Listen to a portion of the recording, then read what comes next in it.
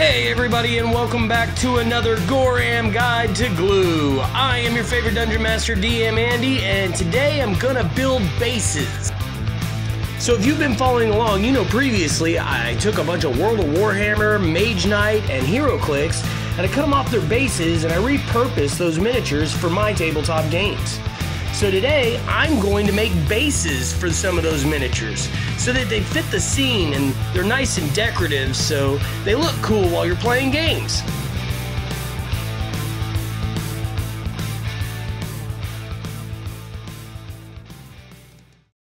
I'm going to start with four 32 millimeter bases and show you four different ways I like to go about decorating my bases for my miniatures. So with this first base, I'm just going to coat the top of it entirely in glue. Then with this second one, I'm only going to coat half of it. Then I'm going to take both of these bases and just dip them in a bag of sand. Clean up the edge and then set them aside to dry. Decorative bases can be a little tedious because there's several steps of glue dry, paint dry, glue dry. So just be really patient with this process. It may take a few hours, if not a couple of days, to get these done. For this third base, I got a little XPS foam out and I cut down small slivers of this piece I had and I'm going to chop them up into small bricks and lay out a brick pattern on this third one. If you're not sure what size bricks to make, make a few different ones and see which ones you like best by dry fitting them on your base. You can also make these bricks out of food cardstock or bread ties. I'm just going to smear on a little bit of PVA glue and then I'm going to cut these long bricks in half and start stacking them on in a brick wall pattern.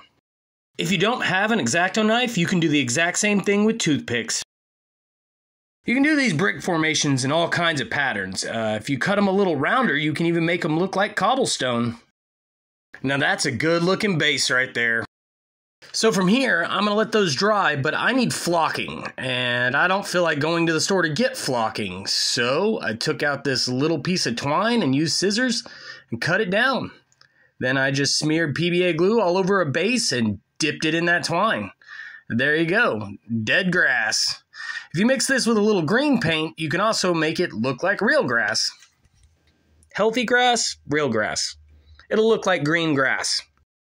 Now I want a couple of rocks, and I'm really too lazy to even get up and go right outside to where there's rocks laying in my front yard up by my porch.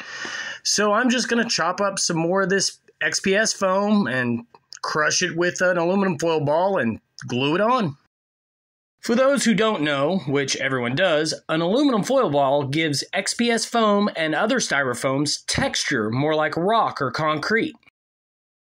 And now it's on to creating some rigidity in my model bases. I'm going to take some black paint and Mod Podge and I'm going to go over all the sand and all the XPS foam rocks. Uh, this is going to help secure the sand to the base as well as protect the foam from getting damaged by anything. Now, depending on how you like to do these things, you could have done this step before adding any of the flocking so you won't get any of that paint on your grass.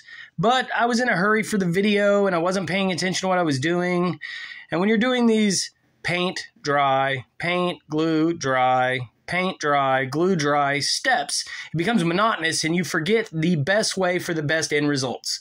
So this is one of those, don't do it the way I did it. Um, finish most of your gluing and some of your painting before you ever do your flocking.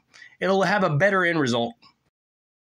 And after that PSA to keep the hobby wolves at bay, I'm going to move on to a little bit of dry brushing, maybe more of a thick dry brush. Uh, I'm not wiping the brush off onto a paper towel.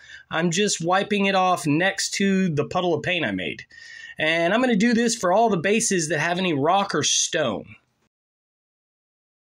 Now I'm going to get out a light brown and I'm just going to dot a few of the rocks and some of the stones on each of these bases just to make them pop a little more. They'll look fine after we wash everything, and it'll bring all those colors back down to a more neutral place.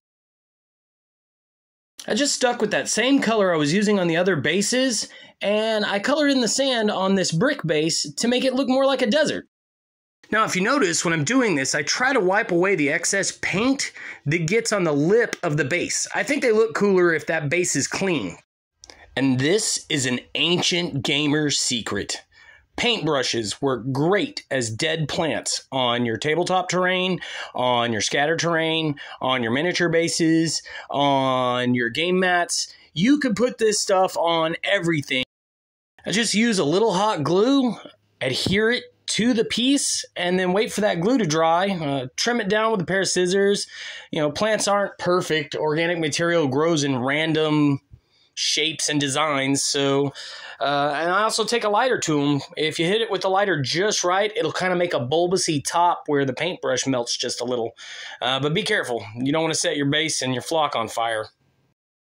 Once you have these steps complete, set these aside and let them dry all the way before we start dry brushing with white paint. Um, this is going to bring all the rock and all the stones and all the material, like the skulls, it's going to bring that paint level up a little bit and it's going to look saturated with color just a little bit on you, but we're going to go back over it with a dark wash and bring that tone right back down. So don't worry about it if at first it looks a little sketchy.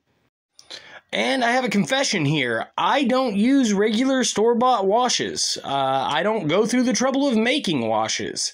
I have a mason jar that I rinse out my brush from when we're doing Mod Podge projects, and I save that. It's just black paint, Mod Podge, and a ton of water from where I'm rinsing out my brushes. And it is perfect for scatter terrain, miniature bases. It works really, really well on anything that you're not trying to have super professional painter details. And it's cheaper than any other stuff you see out there. Now I'm just adding a few final touches. I got out some antique white because there's a skull on one of these bases, and I'm going to use it to edge highlight the, the larger stones. Um, you can do these in any colors you want. You can try and experiment with lots of different things. I just go with these earth tone colors because I like them that way. And now on to my favorite part. Um, I'm going to glue on the miniatures. This is a Mage Knight Dwarf, and I'm just going to attach him to this gravel base. I just use a little super glue, holding there for a second, and he sets up. Then I'm going to move on to this hero click. It's a Poison Ivy hero click, and I'm going to glue it onto the grass and gravel base and use that as a druid for my games. So, you know, I didn't do much touch up to these miniatures. I cut almost all of them straight off their base and glued them onto my new base. And they work perfect like that when you want to play and you're not very good at painting. This one is a blood elf from World of Warcraft, and I'm going to glue her onto the dead grass with the rocks and the skull. And I'm going to hold her there for a second. This one was a little bit cantankerous because of her pose. She was standing on that rock with her back foot in the grass, and the grass just didn't want to connect the way I wanted it to. But eventually that glue set up and it made made perfect miniature. And this last one is from a Magic the Gathering board game. He's one of the planeswalkers, and I painted his hair yellow since he looks like an elf. And now it's on to the turntable, the glamour shots, and me begging for more subscriptions. Guys, if you like what I'm doing here, please like and subscribe. I think there's a bell notification or something.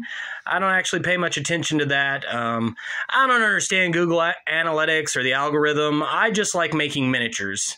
So if you like me making miniatures, go ahead and like and subscribe and join the team. And as always, I am your favorite dungeon master, DM Andy, and I'm saying use Mod Podge, black paint, and water, and quit buying washes. Hey, stick around and watch me finish up the Spider Queen, which I live streamed a couple of days ago. Thank you, everybody.